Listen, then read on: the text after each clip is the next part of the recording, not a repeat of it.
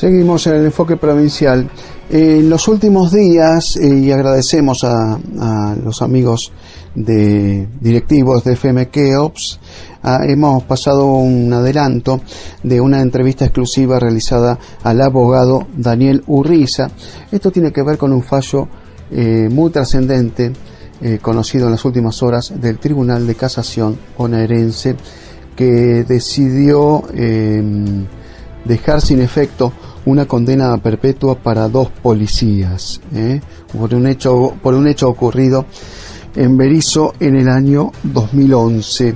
Para más detalles vamos a escuchar entonces la entrevista exclusiva con el abogado Daniel Urriza.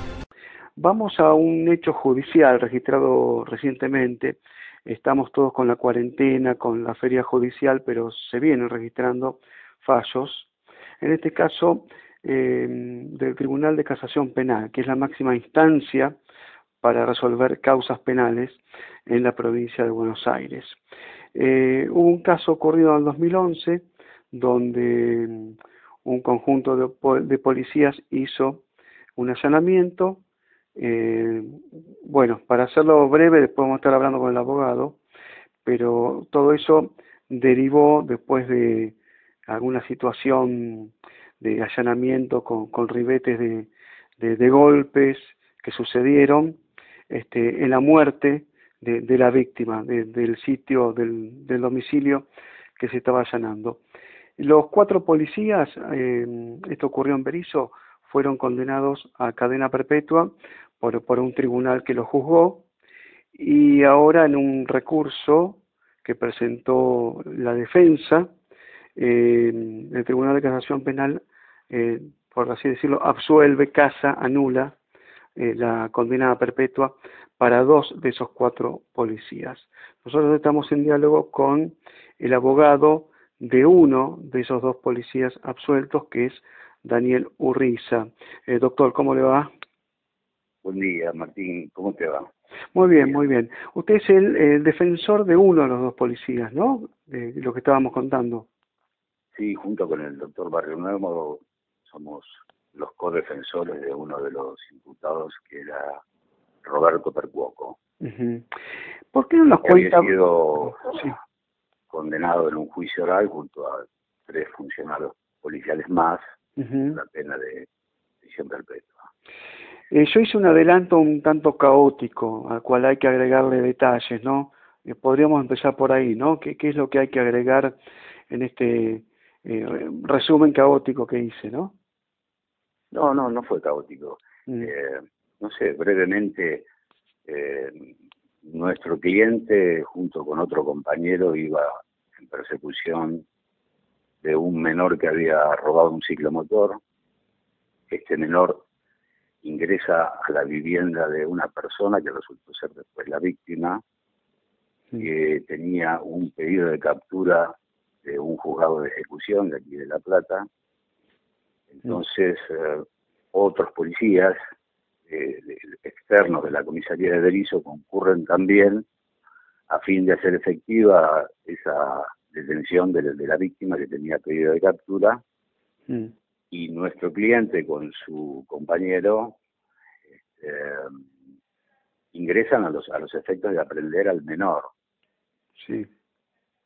En, el interior, en el interior de la vivienda, al reducir a, la víctima, eh, bueno, se produjeron golpes. Este, y luego, unas cuantas horas, esto, el hecho ocurrió cerca del mediodía, a las 11 de la mañana, a la una de la mañana del otro día, fallece en un calabozo. Mm. Eh, nuestro recurso giró en torno a la valoración de la prueba.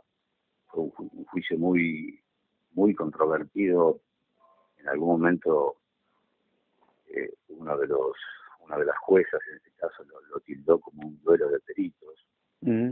porque mm, había un desacuerdo entre el nexo causal de la muerte por parte de los médicos de la asesoría pericial y por parte del médico del particular damnificado, que fue en definitiva, eso también es bastante novedoso, digamos, fue en definitiva el, el, criterio seguido tanto por, por, por, por, el Tribunal de Juicio como por el Tribunal de Casación en relación con la causal de la muerte. ¿no? Eh, pero ahí Tribunal de Casación al, al absuelve a nuestro cliente valorando particularmente el testimonio de un hermano de la víctima, donde lo coloca a Roberto Percuoco y su otro compañero de de la canal, eh, afuera de la vivienda, y, en el mismo juicio lo señala como que no había participado en, la golpiza que le propinaron a Canizo, se llamaba el joven víctima, al momento de la, de, la, de la detención. Claro, eso llama la, atención, ¿no, doctor, en el tema de la lectura del fallo, que justamente el hermano de la víctima eh, fue la palabra clave, digamos, para que queden fuera de la escena, yo iba a decir, no es del crimen, pero de la escena complicada, ¿no? Es decir, como que no participaron de esa golpiza. Exactamente, sí. Y tan es así que en su momento eh, se desistió de la acusación respecto de tanto de Percuoco como de, de la Canal, pero el particular beneficiado sostuvo la acusación, que está facultado para sostener cuando el fiscal desiste. Y, por ese motivo fueron condenados los cuatro hasta que este fallo los absolviera definitivamente a ellos dos, a Percuoco y a, De la Canal. Una pregunta, el solo hecho de estar en el patio, como pasó con su asistido, digamos, no, no lo complica en lo que podrían ser incumplimientos de deber de funcionario público ni nada por el estilo, en el sentido de que, bueno, estaba omitiendo o, no estaba actuando para por ahí detener lo que podía ser una golpiza, pero eh, no no sé cómo se el mismo, el mismo tribunal ha dicho que no tenía por qué saber lo que estaba ocurriendo mm. afuera, simplemente se ocupó de, de, la, persona en la que estaba en persecución este, y luego ingresó únicamente para llevar a, la víctima al patrullero. Claro. Este, no, no, no tenía por qué saber que adentro estaba pasando algo que él no escuchaba ni sabía ni ni siquiera era su interés porque su interés era en, quien iba en persecución, digamos. Claro, claro. Y tampoco, digamos, hizo alguna alusión a que, em, digamos, al cuerpo a, a, la víctima entonces con vida la, la, habrían arrastrado hasta el patrullero que eso podría haber tenido un nexo causal con la muerte, eso quedó descartado. Sí, quedó descartado por, por cómo vieron algunos vecinos que lo, que lo, lo llevaban, mm. este, un poco a los empujones, digamos, pero, pero de ninguna manera puede vincularse eso con, con la causal de la muerte que tuvo que ver con un síndrome asfíctico en virtud de, un, de una equimosis en lo que sería la nuez.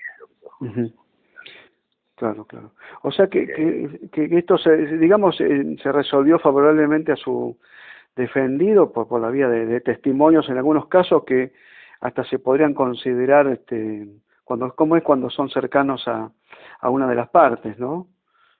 Este, sí, pero en este caso es al contrario. Claro, al contrario, justamente. Porque, digamos, fue un hermano de la propia víctima, mm. despejó las dudas respecto de quiénes habían sido realmente los autores. Por eso el Tribunal de Casación desecha la coautoría mm. de, estas dos personas entre los que se encuentra Claro. Eh, doctor, la última, para destacar, ¿no? Un fallo de estas características, porque generalmente cuando hay una condena a perpetua eh, se debe conocer en un muy bajo porcentaje, ¿no? Que eh, se, se anule una condena perpetua. Sí, la verdad que sí. Este, generalmente nosotros habíamos pedido la nulidad del juicio. Mm. Por eso nuestra expectativa era también eh, el hecho de que a lo mejor el tribunal ordenara llevar adelante un nuevo juicio en virtud de argumentos que ahora no vienen al caso porque son demasiado técnicos. Mm. Este, pero sí, y, llegó en un momento en el que casualmente percuco el día anterior a que este, nos notificaron al doctor Barrio Nuevo y a mí el fallo, nos había pedido si podíamos interponer una, una habeas corpus en virtud de, las circunstancias de la pandemia que todos conocemos.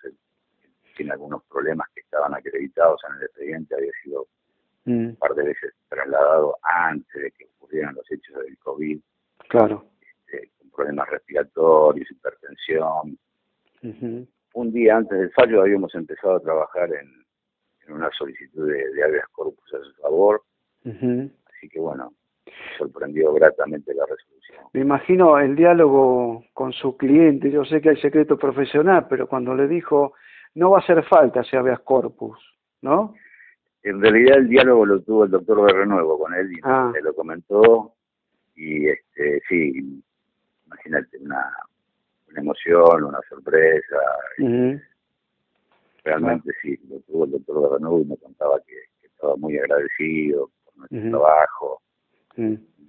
realmente, bueno, sí, es un, un, esfuerzo grande, pero además la satisfacción de saber que, un tribunal superior hizo realmente justicia, como algo ejemplar y de que uno tiene mucho por aprender también. Perfecto. Bueno, doctor Daniel Urriza, le, le agradecemos muchísimo por su tiempo, por justamente este diálogo con FM Keops, por este caso, ¿no? Eh, tan impactante. Bueno, Martín, muchas gracias y, a tu disposición. Bueno. Un saludo a la audiencia.